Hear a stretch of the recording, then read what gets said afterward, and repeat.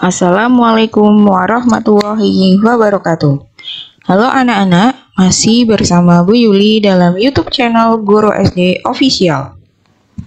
Kali ini kita akan belajar tematik kelas 3, tema 2, menyayangi tumbuhan dan hewan, subtema 1, manfaat tumbuhan bagi kehidupan manusia, mata pelajaran matematika. Sebelum kita belajar, mari kita berdoa terlebih dahulu ya, agar pembelajaran kita kali ini dapat bermanfaat untuk kita semua. Berdoa, mulai. Berdoa, selesai.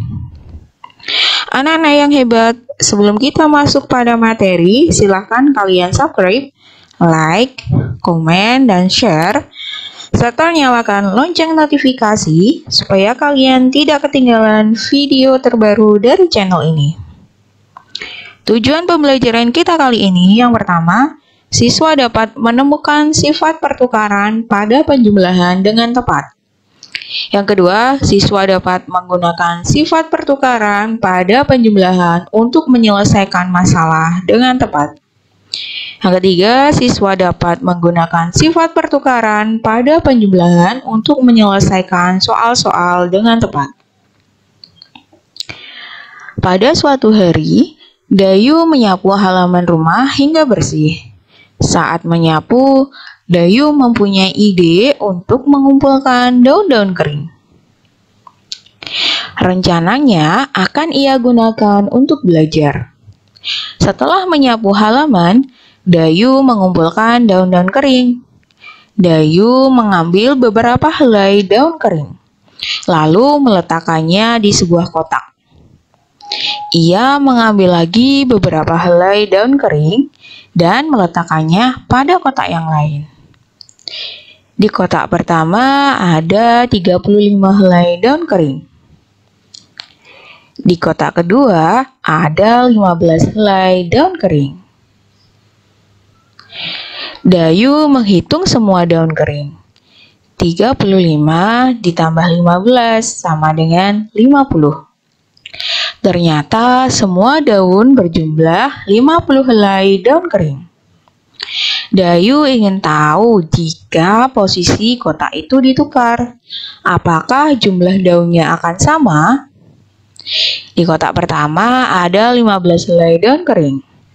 Di kotak kedua ada 35 helai daun kering. 15 ditambah 35 sama dengan 50. Ternyata jumlahnya sama, yaitu 50 helai daun kering. Kita tulis dalam kalimat matematika ya. 35 ditambah 15 sama dengan 50. 15 ditambah 35 sama dengan 50. Jadi 35 ditambah 15 sama dengan 15 ditambah 35. Kita bisa coba pada penjumlahan yang lain. Ada 120 ditambah 930 sama dengan 1050. 930 ditambah 120 sama dengan 1050. Jadi 120 ditambah 930 sama dengan 930 ditambah 120.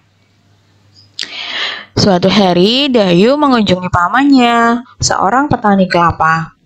Dayu melihat panen kelapa di kebun pamannya. Terdapat banyak mobil truk akan mengangkut buah kelapa ke kota. Seorang pekerja menghitung buah kelapa yang ada di dalam truk tersebut. Truk pertama sebanyak 425 butir kelapa. Truk kedua sebanyak 590 butir kelapa.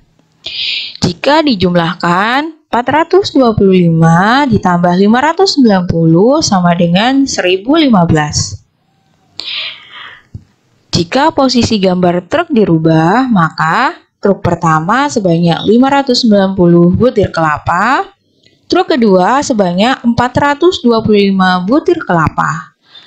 Dalam bentuk penjumlahan 590 ditambah 425 sama dengan 1015. Ternyata jumlah buah kelapa tetap sama meskipun posisinya kita rubah. Yaitu 425 ditambah 590 sama dengan 590 ditambah 425. Sifat pertukaran di dalam penjumlahan tersebut disebut dengan sifat komutatif. Sekarang giliran kamu mengerjakan soal latihan berikut ini. Kalian dapat menulis soal tersebut di dalam buku tugas kalian masing-masing. Kalian kerjakan dan kalian kumpulkan ke guru kelas kalian masing-masing ya, agar kalian mendapat nilai.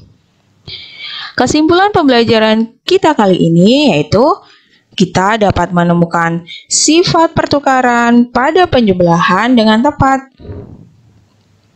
Yang kedua, dapat menggunakan sifat pertukaran pada penjumlahan untuk menyelesaikan masalah dengan tepat.